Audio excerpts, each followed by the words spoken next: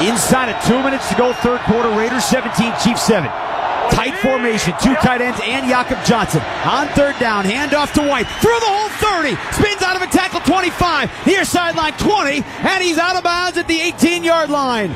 Zamir White got big blocks through the line. Mike Edwards chased him down, but not before he picked up 16 and a first down. Like I said before, there are plays, there are yards that you could acquire on the outside, the perimeter. They're they're not as strong as they are in the interior, and the Chiefs were looking for an inside run that time, and that's why you're able to get on the outside. Good job by the offense.